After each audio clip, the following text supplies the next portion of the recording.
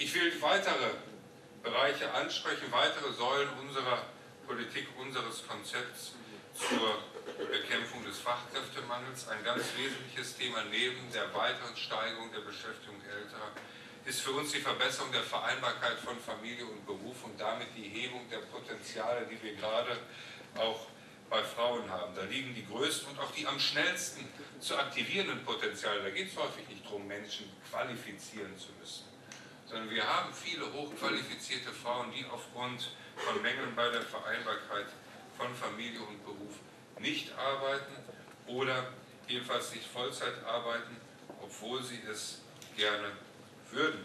Die Erwerbstätigenquote der Frauen liegt aktuell bei rund 70 Prozent. Das sind fast 10 Prozentpunkte mehr als vor zehn Jahren.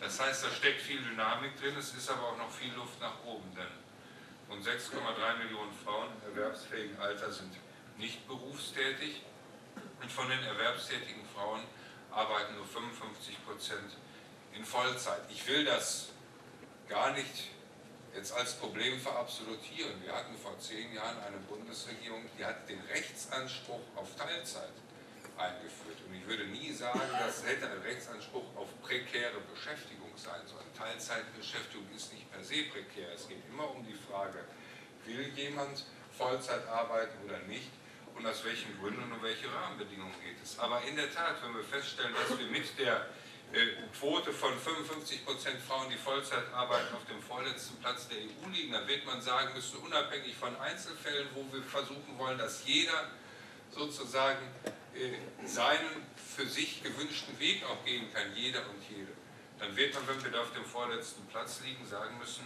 hier ist Handlungsbedarf. Und deswegen ist in den vergangenen Jahren in diesem Bereich auch vieles angeschoben worden, vieles hat in der Praxis dann auch mit den Fragen des Föderalismus zu tun, aber das sind Fragen, die muss die Politik lösen. Die können wir nicht auf denen abladen, die zu Recht nach mehr Beschäftigung suchen und die wir in unserem Land auch brauchen. Die Richtung, die wir eingeschlagen haben, stimmt. Ich sprach davon, fast 10 Prozentpunkte höhere Frauenerwerbstätigenquote heute als vor zehn Jahren, aber der Nachholbedarf bleibt groß. Ich nenne das Thema Bildungschancen für alle von Anfang der Wahl schon eben werden die Weichen gestellt, ob jemand später zur gesuchten Fachkraft wird und deshalb ist der dritte Sicherungspfad die Bildung und zwar für alle von Anfang an. Immer noch verlassen 7% der jungen Menschen ohne Abschluss die Schule. Bund und Länder haben sich deshalb darauf verständigt, die Quote der Schulabgängerinnen und Abgänger ohne Abschluss bis zum Jahr 2015 auf 4% zu reduzieren. Die Bundesagentur für Arbeit geht bei einer entsprechenden Verringerung der Schulabbrecherquote bis 2025 von zusätzlichen 300.000 Arbeits- bzw. Fachkräften aus und das sind Potenziale, auf die wir nicht verzichten können. Wenn ich das sage, bin ich mir allerdings auch der begrenzten Möglichkeiten staatlichen Handelns bewusst. Heute ist ja der bundesweite Vorlesetag.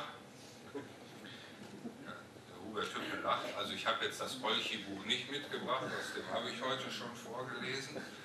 Aber das, in der Hinsicht bin ich auch äh, konservativ genug zu sagen, es geht natürlich auch immer um die Eigenanstrengung der Kinder und es geht um die Verantwortung der Eltern. Die ist auch nicht aufgehoben, wenn sich Politik Ziele setzt. Also letzten Endes geht es nicht darum, sozusagen formale Bildungsabschlüsse irgendjemandem hinterherzuwerfen, sondern wenn wir die Quote von Schulabgängerinnen und Abgängern ohne Abschluss äh, deutlich reduzieren wollen, ist das ein typisches Beispiel dafür, dass Politik weder allmächtig noch ohnmächtig ist.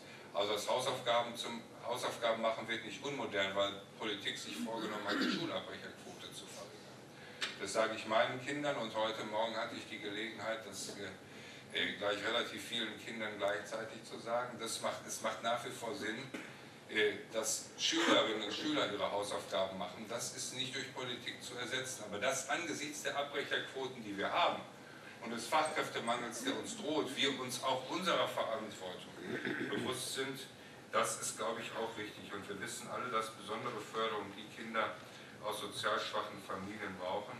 Und das Bildungspaket setzt genau hier an. Das Bildungspaket setzt nicht da an, zu sagen, wir machen es jetzt leicht, den Abschluss zu erreichen, sondern das Bildungspaket setzt eben beispielsweise beim Thema der Nachhilfe an. Das Bildungspaket setzt da an, wo Kinder einerseits finanziell bedürftig sind und andererseits Lernbedarf, Nachhilfebedarf haben, uns dies zusammenzubringen. Das ist das, worum es geht.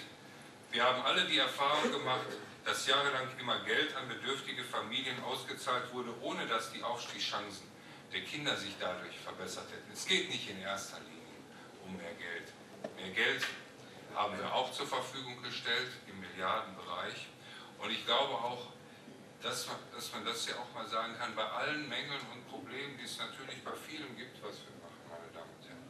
Über das hinaus, was wir bildungspolitisch schon machen, haben wir mit dem Bildungs- und Teilhabepaket mehrere zusätzliche Milliarden für Bildungs- und Teilhabechancen für Kinder aus benachteiligten Familien zur Verfügung gestellt. Es ist meine feste Überzeugung, dass ein Vertreter der kommunalen Familie recht hatte, der gesagt hat, es wäre die erste kommunale Leistung, es wäre die erste Sozialleistung, auf der die Kommunen sitzen blieben. Die Kommunen werden nicht drauf sitzen bleiben, sie bleiben nicht drauf sitzen der letzte runde Tisch, den wir Anfang des Monats im Arbeitsministerium dazu gemacht haben, hat wieder bestätigt, die Zahl derer, die diese Ansprüche in Anspruch nehmen, steigt kontinuierlich.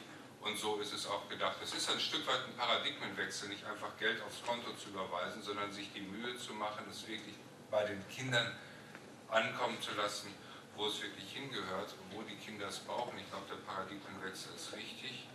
Die Erfolge stellen sich ein. Es sind mehr Kinder, die das in Anspruch nehmen. Und ich finde, ein Land, das mehrere Milliarden zusätzlich dafür ausgibt und die, die es brauchen, darüber nicht nur auf Deutsch, sondern auf Englisch, auf Russisch und auf Türkisch schriftlich informiert, muss da anderen nicht nachstehen. Ich glaube, wir haben etwas Gutes damit auf den Weg gebracht.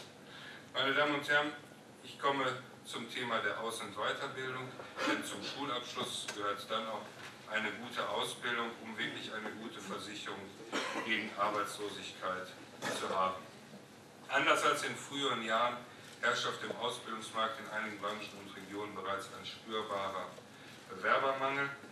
Die Unternehmen öffnen sich nun auch für junge Menschen, denen der Übergang von der Schule in die Ausbildung schwerfällt. Der Ausbildungspakt setzt hier richtige neue Schwerpunkte und der Fokus richtet sich auf benachteiligte und behinderte junge Menschen Migrantinnen und Migranten sowie Altbewerber, aber auch leistungsstarke junge Menschen sollen für eine Karriere durch Lehre geworben werden. Die Förderung der beruflichen Weiterbildung ist ein Kernelement der Arbeitsmarktpolitik.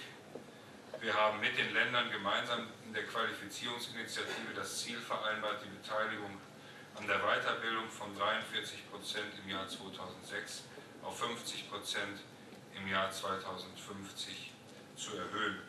In einigen Bereichen verstärken wir gezielt die Qualifizierungsbemühungen. So hat die Bundesregierung Gespräche zu einer Ausbildungs- und Qualifizierungsoffensive Altenpflege gestartet, weil wir wissen, dass auch in diesem Bereich besonderer Handlungsbedarf besteht.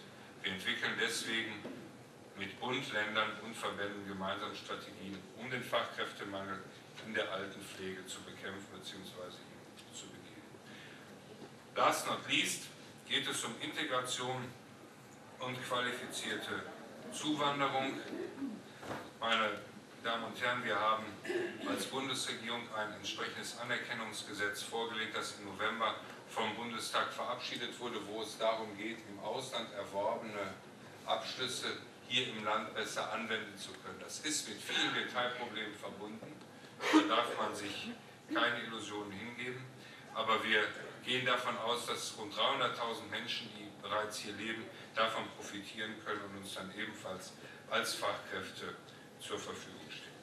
Meine Damen und Herren, mit den staatlichen Maßnahmen, die wir auf den Weg gebracht haben und den Zielen, die wir uns als Bundesregierung gesetzt haben, sind wir, denke ich, bei der Hebung von Potenzialen für Fachkräfte und beim Vorbeugen eines flächendeckenden Fachkräftemangels auf einem guten Weg. Aber wir brauchen natürlich die Unterstützung aller.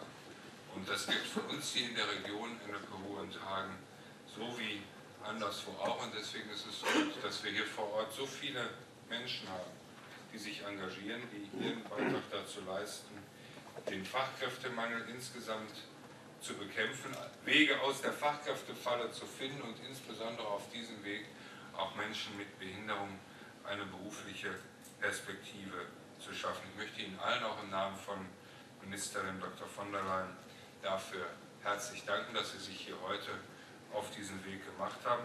Ich wünsche Ihnen fruchtbare Diskussionen und Impulse, die uns alle gemeinsam weiterbringen, nicht nur hier in Hagen und im NFB-Ruhrkreis, sondern da gilt, es gilt hier ja immer das, was in der Schule nicht gilt. Hier darf man auch abschreiben. Es ist äh, keine Schande, wenn wir gucken, was andere machen und was wir gut machen.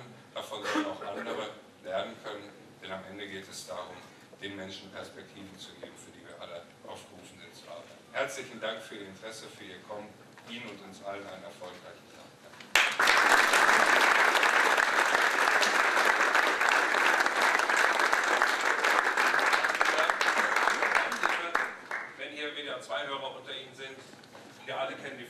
sehr gut. Schönen Gruß auch an die Familie. Ich bedanke mich